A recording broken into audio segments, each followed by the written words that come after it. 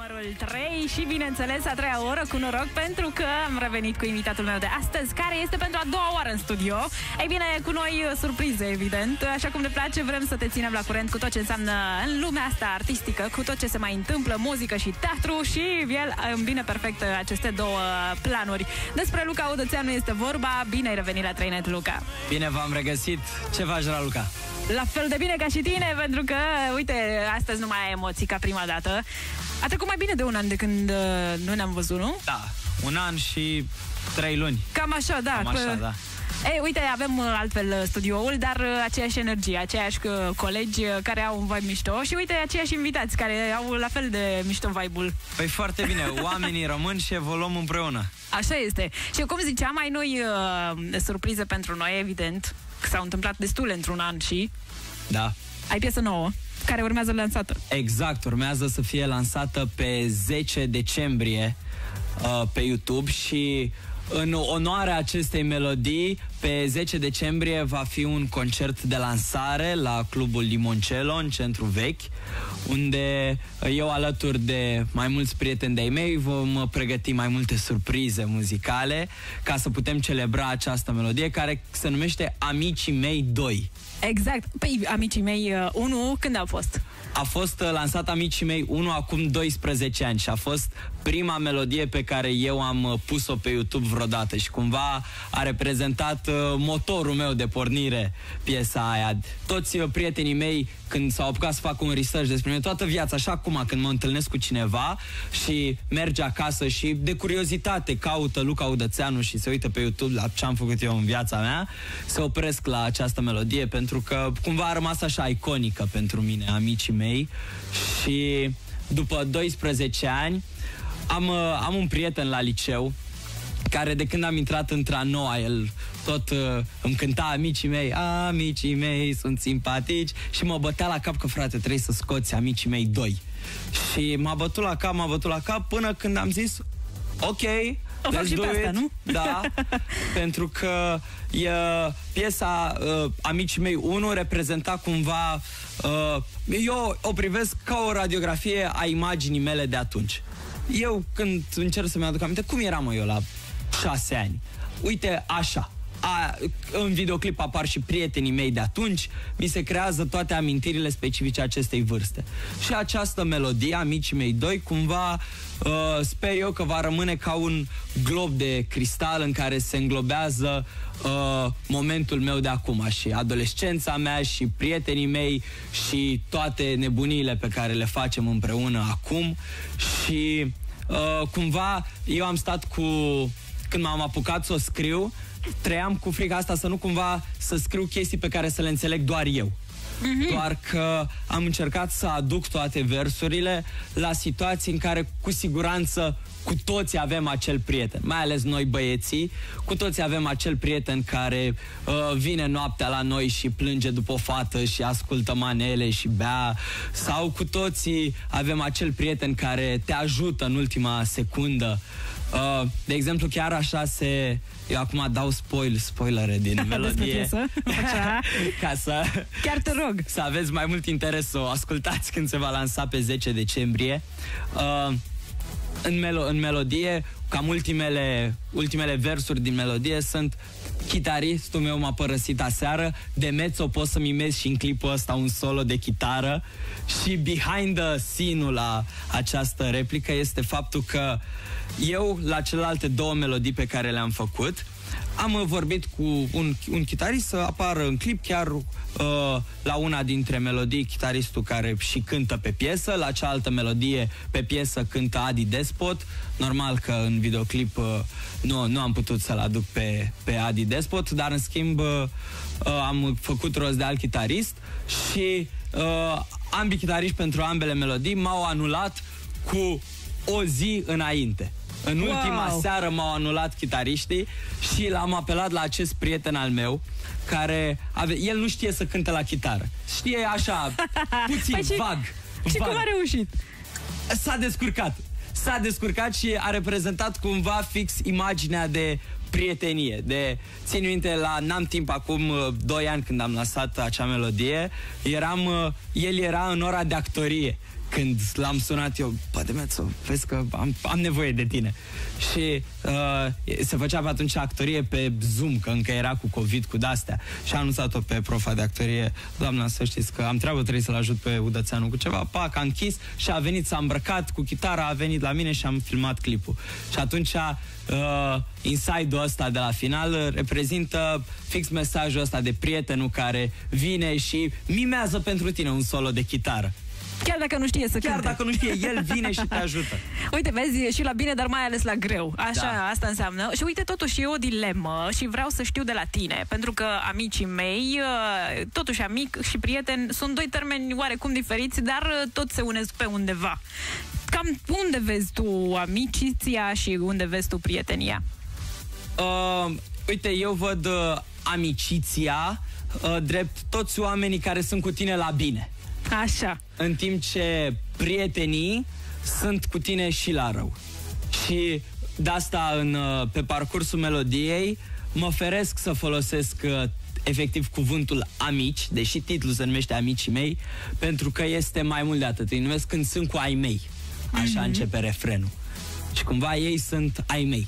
E plusul ăla de care are nevoie orice om, adică Exact. prietenul a nevoie să cunoaște. Exact. Cum ai zis tu, dacă îl suni la o oră, nu știu, matinală, e acolo pentru tine, orice exact. ar fi.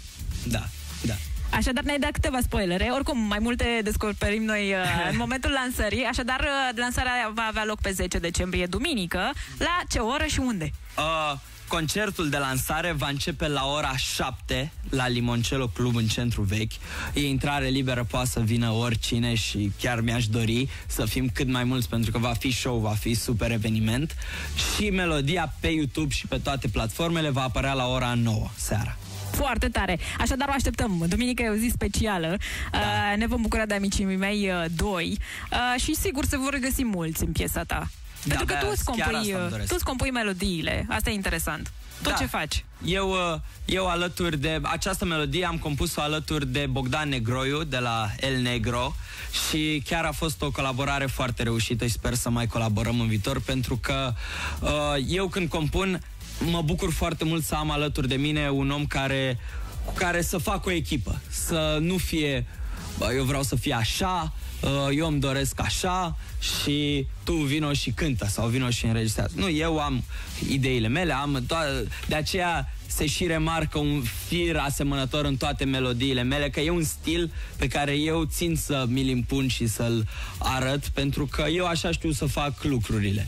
Și alături de Bogdan chiar am făcut o colaborare foarte bună. Foarte tare, mi se pare. Și uite, asta e, că nu trebuie doar să bifezi o chestie sau o colaborare, trebuie să te impui și să te implici cu totul. Da. De ambele părți. A, Așadar, am vorbit despre lansare. Hai să vedem ce alte noutăți, că ai făcut multe în anul ăsta pe lângă piesa asta, pentru că ne vom bucura și de ea. A, Știu că înainte, sâmbătă, vei avea și un spectacol. Da, da, este un weekend foarte încărcat pentru mine. Așa? Dar de bun augur să fie. Da, da, da. Îl vei Uh, juca pe Mozart în piesa Amadeus de Peter Schaffer uh, va fi, se va juca la Teatrul Țăndărică la ora 7 și cum ai spus și tu este vorba despre viața lui Mozart și eu îl joc pe Mozart și este cred că unul dintre spectacolele la care eu am muncit cel mai mult și e unul dintre spectacolele mele de suflet și cred că este cel mai greu rol pe care l-am făcut vreodată. Wow, e complex. Asta e clar. Este complex și a reprezentat un studiu foarte mare. Pentru că atunci când uh, joci o, o personalitate care chiar a existat, izvorul tău de documentare este mult mai mare. Am fost în Viena să-i văd casa lui Mozart, să, să văd acolo toate lucrurile, că există muzeul Mozart House din Viena, unde afli foarte multe lucruri. Uh, tot ce înseamnă izvoare și documentație și opere și tot și viață personală Mozart, dar uh, există o carte publicată cu scrisorile lui Mozart din toată viața lui și uh, după ce faci documentația asta despre realitatea lui Mozart, după aia trebuie să vezi cum o adaptezi în spectacol. Pentru că piesa nu este una documentară. Nu, lucrurile nu stau doar la nivelul ăsta rece ci e vorba despre viața lui și despre cum era Mozart și uh, pentru cine n-a văzut nici filmul Amadeus, Uh, pentru că s-a făcut un film după piesa de teatru în 1984, a fost foarte apreciat, a luat multe Oscaruri. Foarte bine că ai punctat asta, da. ca să știm. da.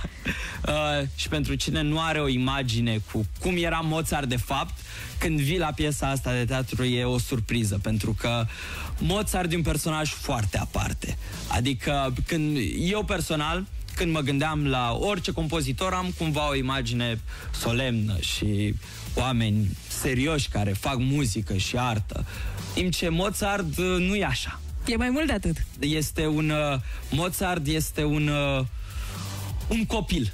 Un copil extrem de genial, un copil care de la vârsta de 4 ani a compus, care e neavând o copilărie a lui, toată viața lui și-a trăit copilăria. Și e, e un personaj vulgar, e un personaj foarte uh, vulcanic și e o complexitate foarte mare ca să poți să întreprinzi toate aceste lucruri și piesa cumva nu-ți vorbește doar despre viața lui Mozart, cât e ceva mai mult de atât, ci vezi viața lui Mozart în opoziție cu rivalul lui, Salieri. Și toată povestea e de fapt spusă din perspectiva lui Salieri care îl invidiază pe Mozart. Și vezi antiteza între omul care chiar a muncit toată viața și e serios și respectă munca și copilul genial care s-a născut extrem de înzestrat, care, da, clar, a muncit cu ajutorul tatălui său, dar uh, din start s-a născut genial și a rămas în istorie, în timp ce Salieri este un compozitor care nu a supraviețuit istoriei. Așadar, să-i urmăm exemplul, să da. fim copii mereu. Da, da, da. în orice moment al vieții, pentru că e important uh, să avem uh, spiritul ăsta jovial. Uh, uite, oricum, mai multe descoperim noi sâmbătă la teatru, asta e da, clar. este un spectacol foarte complex. Nu v-am zis nici 10% din, din câte înseamnă. o să da. vedem. Ei bine, da, uite că vorbeam în, înainte de a intra în live despre diferența asta dintre cărți, manuale, volume și uh, filme regizate într-o altă manieră. Tu ce vrei să, mai întâi să testezi? Întâi citești uh, și apoi urmărești filmul sau invers? Uh, mi se pare cel mai important să vezi uh, sursa de la care a pornit. Adică dacă e un film inspirat după o carte, e bine mai întâi să citești cartea. Dacă e o carte inspirată după un film, mai întâi vezi filmul. Pentru că e, e bine să vezi materia cât mai primă. Primul creier prin care a trecut. Că după aceea povestea aia trece prin o grămadă de filtre. Și atunci prima oară vezi prima uh, prima apariție și după aceea poți să adaugi filtrele. Mm-hmm. Uite cum învățăm noi la școală că primul, primul răspuns întotdeauna e cel corect. Da. nu te păcălește niciodată intuiția. Uh, uite că vorbim despre piesa asta frumoasă, pentru că tu ai mai participat la diverse competiții, să le spunem așa, deși sunt uh, în alte forme. Ai câștigat și foarte multe premii, de altfel. Uh, poți să menționezi aici premiul pentru cel mai bun spectacol la Theater din uh, Constanța. Ce da. ai făcut acolo? Uh, chiar cu Amadeus am câștigat acest premiu pentru cel mai bun spectacol și uh, Theater, Fitic, Mic este unul dintre cele mai mari festivaluri de teatru de adolescenți din țară și a fost o experiență foarte frumoasă pentru că uh, în primul rând a fost diferit, am jucat în aer liber și a trebuit să ne adaptăm, să vedem cum găsim rezolvări la totul și am găsit soluții foarte bune și am uh, publicul a rămas foarte, foarte surprins, plăcut. Și asta a fost. Am luat premiul pentru cel mai bun spectacol. Felicitări și uite, dacă publicul a fost mulțumit și a plecat uh, cu ceva în plus acolo, să știți că v-ați făcut bine treaba. Da. Asta contează. Așa că vă așteptăm sâmbătă la ora 7 la Teatrul Sândărică. Da, și nu poți să trec cu vederea apariția ta de la Ai Umor. Te-am urmărit și acolo și, într-adevăr, ești foarte bun pe improvizație. Întâi de toate. Cum a fost experiența asta pentru tine? Bucur. Uh, și experiența de la Ai Umor a fost una foarte interesantă, pentru că a fost un text pe care l-am scris eu. A fost... Uh, totul... Eu, în general, uneori, uh, față de astfel de uh, emisiuni de tip concurs sunt puțin reticent din cauza preconcepțiilor legate de cât de pe bune sunt toate competițiile sau cum sunt zilele de filmare, dar uh, cumva experiența umor m-a lăsat uh, foarte plăcut surprins pentru că parcă chiar se simte că ești la ai umor. Lumea e mult mai relaxată, totul este mult mai chill, uh, oamenii te tratează mult mai prietenos. Adică e această atmosferă de funny de când intri până pleci. Și momentul a fost unul care mie mi-a produs multă bucurie. Da, a fost unul complex, să știi, că ne-a trecut pe, peste tot. Ne-a trecut prin toate, de fapt. Da, pe asta mi-am dorit. A fost un moment de istoria comediei. Și atunci eu am încercat să iau comedia de unde a început și să o trec prin toate, prin toate etapele ei. Pariul meu la această, acest moment a fost să nu fie mult prea didactic, mult prea nișat. Și eu inițial când l-am scris chiar treceam prin mai multe zone și pe aia mi-am zis stai, stai, stai, stai. Nu, nu, nu e dai umor să vorbesc despre teatru absurd sau nu o să înțeleagă nimeni glumele alea din literatură sau așa, așa că am încercat cumva să iau o poveste care să sune cât mai uh, Grecia antică, cum am vorbit despre Clitemnestra și Agamemnon, da. dar să aduc totul la o poveste din Berceni. La un înșel, la o situație prin care lumea a trecut și cu care lumea poate să, poate să empatizeze. Să fie familiară, cât de da. cât. Adaptare, asta e important. Uh-huh. Uh, și de altfel, uh, toate experiențele astea te-au adus aici, pentru că, uite, și de la micii mei 1 până la micii mei 2, uh, asta înseamnă evoluție și mai ai mult, mai ai mult de făcut, pentru da. că ai cu ce. Asta e important. Doamne ajută! Uite, se apropie sărbătorile de iarnă. Ce vrei să faci? Sau dacă ți-ai impus să, să mai ai spectacole sau să termină înainte de sărbători? Uh, mai am un spectacol pe 17 decembrie tot la Teatrul Sândărică, se numește Dacă noi ne iubim și este un musical după piesele trupei Holograf. Și pe lângă acest spectacol mai am încă unul pe 15 decembrie la Teatrul Național din București, la Sala Mare, se numește Călătoria, regia Dampuric. Așadar, 15 și 17, 17 decembrie să țineți minte acolo, da. să vă notați în calendar. Să te urmărim și pe scenă, nu doar cântând, pentru că ne faci zilele frumoase și să fim cu ochii pe canalele tale de social media, pentru că poate sunt unii oameni care nu pot ajunge la lansare și vor să urmărească piesa în online. Uh, cum te pot găsi cei care ne urmăresc uh, pe YouTube, în cazul în care poate au uitat de la ultima noastră întâlnire și peste tot, nu știu, Instagram, Facebook, TikTok chiar, ca Udățeanu, și TikTok. Da, Udățeanu Luca, Udățeanu Luca sunt și pe YouTube, și pe Instagram, și pe Facebook, și pe TikTok, deși pe TikTok uh, nu prea postez, nu sunt foarte activ, uh, dar pe toate rețelele de, de socializare, inclusiv uh, pe rețelele de streaming ca Spotify sau Apple Music, tot Udățeanu Luca găsiți.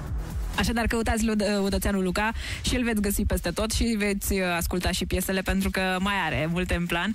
Uh, cum a fost colaborarea cu Bogdan? Că, uite, nu te-am întrebat asta. Cum a reacționat? A răspuns uh, imediat? Păi, uh, eu cu Bogdan m-am cunoscut la un festival pe care l-am prezentat la începutul anului și uh, am aflat că el mă urmărea pe Facebook și știa cumva de activitatea mea și am zis, wow, am, am rămas foarte surprins și i-am propus această colaborare pentru, pentru melodie. Și am venit la el și eu sper că alături de Bogdan voi mai avea multe proiecte de acum încolo, pentru că, într-adevăr, comunicăm foarte bine.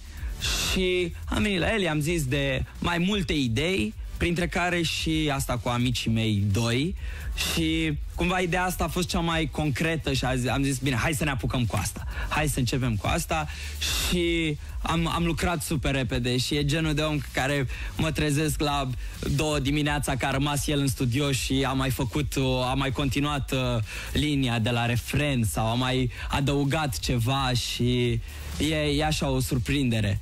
Mă plec, plec, plecam seara de la el, după aia a doua dimineață veneam eu cu strofa scrisă, după aia mai adăugam ceva. E, e genul de energie foarte prietenească și mie mi se pare că așa se nasc lucrurile mișto când uh, se nasc dintr-o prietenie și dintr-o stare de bine, nu venim să muncim venim să muncim și trebuie să ne facem, acum trebuie să facem această melodie. Pac, exact. pac, pac, pac, pac. Trebuie să fie libertate în toate, exact. ca să exact. existe și creativitate. Exact, da. Uh, nu știu, dacă vrei să lași câteva impresii celor care poate ne urmăresc uh, așa pe final de an, pentru că urmează un alt an, uh, la fel de bun, eu zic. Așa Doamne ajută, fie. din ce în ce mai bun să fie. Da. Uh, Vă, vă invit în primul rând sâmbătă la ora 7 la Teatru Țăndărică la spectacolul Amadeus. Vă invit duminică la ora 7 la concertul de lansare pentru melodia Amicii mei 2 și sper să petreceți niște sărbători minunate și să vă bucurați de spiritul Crăciunului. Așa. Și vă, uh, vă doresc doar să aveți prieteni uh, adevărați lângă voi, în jurul vostru și în viața voastră, pentru că, uite, Luca are parte de ei, uh, iar la eveniment va avea acolo și prieteni vechi și noi, așa cum ai exact. zis tu în prezentare. Mi-a plăcut tare mult. Uh, și să fie reali. Până la urmă asta e adevărat. Da. Nu doar să fie și atât. Da, și asta cu prietenii vechi și noi, chiar în timp ce am, am lucrat pentru acest concert, am realizat, wow, cu cu una dintre fetele cu care voi cânta duminică, eu mă știu cu ea de la 5 ani, de când ne-am apucat de muzică. Adică unii prieteni chiar, chiar au rămas. Asta nu înseamnă că prietenii care s-au alăturat pe parcurs nu sunt la fel de valoroși, dar uh, eu, eu țin foarte mult la conceptul ăsta de prietenie și consider că am așa un grup strâns de prieteni și o să vedeți în videoclip oamenii care chiar filmează, chiar sunt prietenii mei sunt oamenii pe care eu îi consider cumva familia mea și care m-au ajutat cu toți într-un moment foarte important din viața mea. Și e cel mai mare lucru, să știi. Să fii acolo, mai ales la greu, dar și la bine, că știi cum e. La bine, la bine, dar la greu e și mai important. Te ține minte omul. Da. Mulțumesc tare mult, Luca, că ai revenit în studioul nostru. Mulțumesc și eu, Raluca. O plăcere ca de fiecare dată. și pentru noi la fel este, să știi, fără nicio bă, chestie așa ascunsă, că doar știi, că am vorbit înainte, mm-hmm. că mhm. omul nu poate masca orice emoție așa exact. a la lung. Nu se poate. Da. Și te mai așteptăm. Da? Mai vin. Așa. Mai chemați-mă. Iar noi să mergem la spectacolul lui uh, de sâmbătă, dar și pe 15 și 17 decembrie și nu în ultimul rând la piesa, la lansarea piesei uh, duminică de la ora 19. Așadar, hai să ne bucurăm în continuare de muzică, de data aceasta de o altă piesă de-a ta. Uh, Lasă-mă să-ți fiu. Luca Odățeanu pe trainet.